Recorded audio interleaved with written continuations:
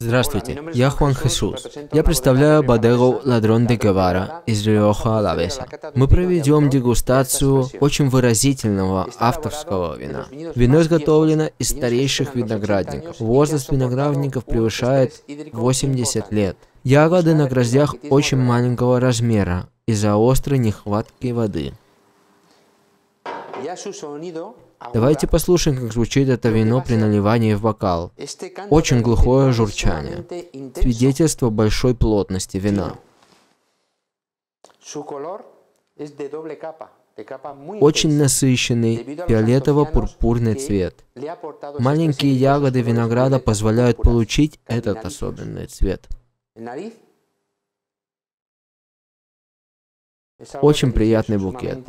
Сложно его описать. Привнесенный выдержкой в бочке использовалось 50% русских бочек и 50% французских бочек из аллея. Во вкусе настоящее наслаждение.